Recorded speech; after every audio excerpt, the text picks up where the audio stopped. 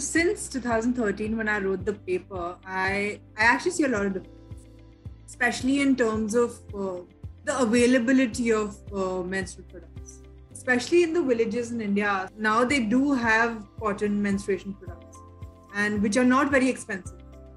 I think people have started talking about it more openly. I think it's also because of social media. I think like social media because of the influencers. I think talking more openly about it.